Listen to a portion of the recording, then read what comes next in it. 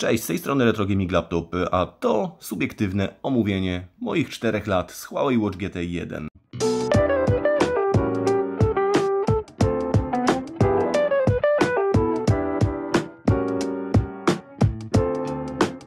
Jak widzieliście na wcześniejszych filmach dotyczących smartwatchy, mówiłem, że używałem i użytkuję do tej pory Huawei Watch GT 2 i w tej chwili od ostatnich 7 miesięcy używam Oppo Watch 46 mm, natomiast całą swoją przygodę z serią GT od Huawei zacząłem od serii GT1.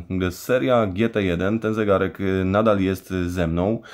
Ciągle używam go do zadań specjalnych, mianowicie do jakichś cięższych tematów, cięższych prac, które mogą skutkować jakimś urazem nadgarstka.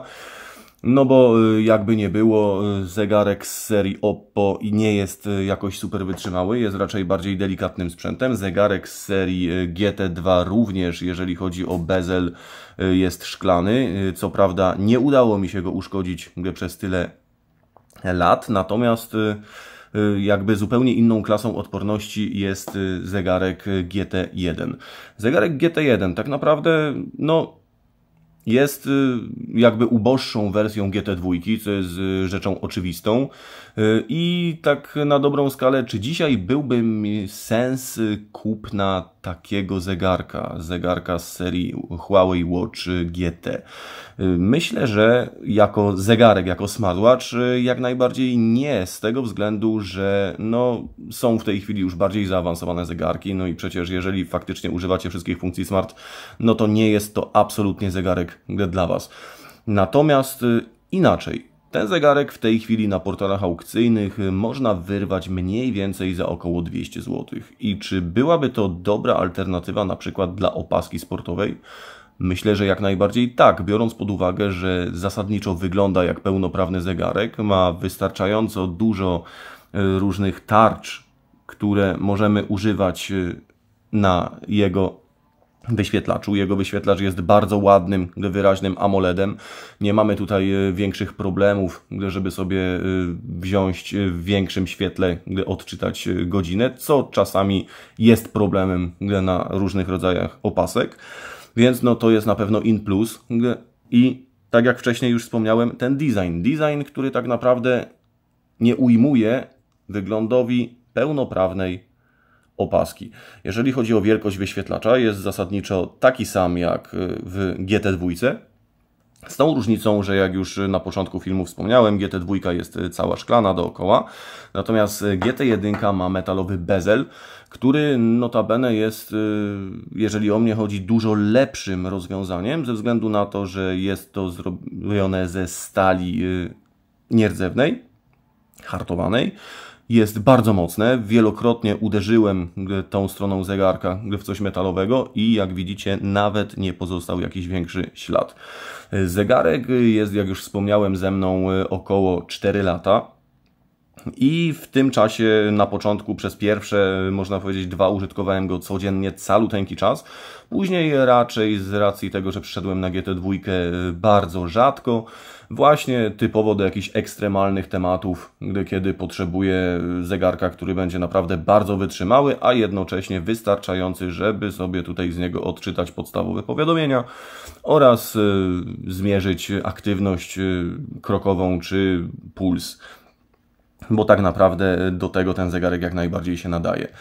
Co mogę o nim powiedzieć po czterech latach? No, mogę o nim powiedzieć na pewno tyle, że ten zegarek po czterech latach trzyma nadal około 12-14 dni. I tak, to nie jest pomyłka, po czterech latach ten zegarek ciągle trzyma na baterii około 12-14 dni, co jest naprawdę świetnym wynikiem w przypadku zegarków y, no tak naprawdę jednym z lepszych i tutaj nie ma nawet co polemizować na tym punkcie. Jeżeli chodzi o samą jego funkcjonalność, jest bardzo ograniczona. Wiadomości, powiadomienia, wszystko przychodzi bardzo ograniczonym stopniu. Można powiedzieć, że mamy tutaj do czynienia bardziej z funkcjonalnością, jak na początku wspomniałem, opaski, niż jak pełnoprawnego zegarka. Więc W momencie, kiedy ktoś e, po czterech latach od premiery zdecydowałby się na zakup takiej GT1, musi się z tym liczyć. Następnie, co się tyczy jakichś aktywności, które sobie tutaj możemy na nim e, przetrenować, no to też e, biorąc pod uwagę to, co dzisiaj proponują współczesne zegarki, jakiegoś większego szału nie ma, natomiast nie jest jakoś super tragicznie. Mamy tak, treningi biegowe, bieganie w terenie, bieganie na bieżni, mamy marsz w terenie, mamy wspinaczkę, bieg przełajowy, kolarstwo, rower stacjonarny, pływanie w basenie, basen otwarty, triatlon, no i inne, do których podporządkowane są wszelkie treści i maści inne aktywności fizyczne. Y, czyli, no jak sami widzicie, jakiegoś super szału nie ma. Natomiast y, dla osoby, która nie jest y, jakimś wielkim fanem sportu, myślę, że w zupełności by takie coś mogło wystarczyć. Jeżeli chodzi o dokładność tych pomiarów, y, wydaje mi się, że można śmiało postawić znak równości z GT2, gdy jest to mniej więcej ten sam level i tutaj nie ma się za bardzo co rozwodzić, y, który jest o metr dokładniejszy, który jest o metr mniej dokładny. Ja bym tutaj jak najbardziej wrzucił je do jednego worka. Jeżeli chodzi o samą wykrywanie aktywności fizycznych, no to nie jest y, już tak dobrze. Y, niestety tutaj, jeżeli cokolwiek y, sobie przepracowujemy, musimy automatycznie sami uruchomić y, tę aktywność. Więc jeżeli sobie chcemy pobiegać, musimy sobie załączyć, że biegamy. Jeżeli sobie chcemy popływać, musimy sobie załączyć, że pływamy, żeby te pomiary tutaj nam z tego zegarka schodziły. Generalnie, co więcej mogę o tym zegarku powiedzieć? No, jak widzicie, ciągle jest ze mną, a to już jest jakaś rekomendacja. Zwłaszcza, że dużo smartwatchy, które miałem ze sobą, y, sprzedałem. Sprzedałem y, wszelkiej treści i maści Samsungi, głównie ze względu na baterię, bo tam bateria trzymała po roku, dwóch bardzo nędznie. Sprzedałem też Huawei Watch pierwszej generacji, który również był ze mną e, przez jakiś dłuższy czas, od 2014 roku. Natomiast e, tam z kolei wypalał się ekran AMOLED i bateria również nie należała do najlepszych, pewnie głównie ze względu na system Wear OS. Natomiast no, było jak było, tutaj jest zupełnie inaczej. Słowami podsumowania, czy dziś e, kupiłbym Watch GT pierwszej generacji? Słuchajcie, jeżeli chodzi o taki zegarek e, typowy do ciorania, do jakiejś e, cięższej, urazowej pracy fizycznej, chodzenia po jakichś ekstremalnych lasach, górach, gdzie można faktycznie tym nadgarstkiem gdzieś w coś uderzyć i jednocześnie bez nastawienia na jakieś super pomiary sportowe i odpisywanie na powiadomienia, etc., jak najbardziej tak, ze względu na to, że w cenie 200 zł w tej chwili, biorąc pod uwagę jego atuty, czyli czas pracy na baterii oraz y, duży, ładny AMOLEDowy wyświetlacz i design, chyba nie ma sobie równych, więc jeżeli y, miałbym kupować właśnie zegarek do tego typu rzeczy, kupiłbym ponownie GT1.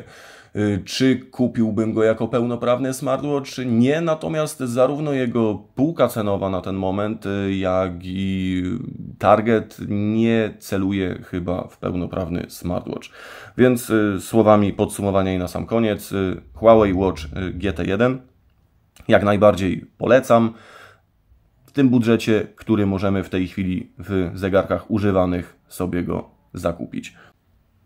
Jeżeli filmik się podobał, zostawcie łapkę w górę. Jeżeli uważacie, że ten kontent do Was trafia, może rozważcie subskrypcję. Z mojej strony tyle. Dzięki. Cześć.